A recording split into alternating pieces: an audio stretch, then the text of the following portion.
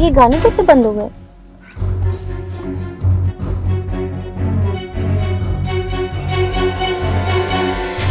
Madam यहीं पे रोक दो मेरा स्टॉपेज आ गया ठीक है भैया। मैंने पेमेंट आपको ऑनलाइन कर ठीक है।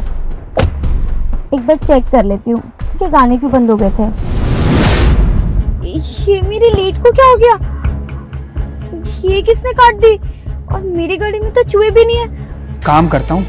अब उस मैडम को ना चालीस हज़ार रुपए वाला मैसेज कर देता हूँ।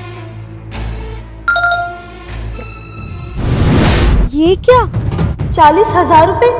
वो भी मेरे अकाउंट में? अरे वाह आज तो मेरी लॉटरी लग गई। मेरी चालीस रुपए की लीड का नुकसान क्या हुआ? और भगवान ने तो मुझे चालीस हज़ार रूपए भेज दिए। मैडम को कॉल करता हूँ। हेलो मैडम मैंने ना गलती से आपके अकाउंट में ना चालीस हज़ार रूपए ट्रांसफ़र कर दिए।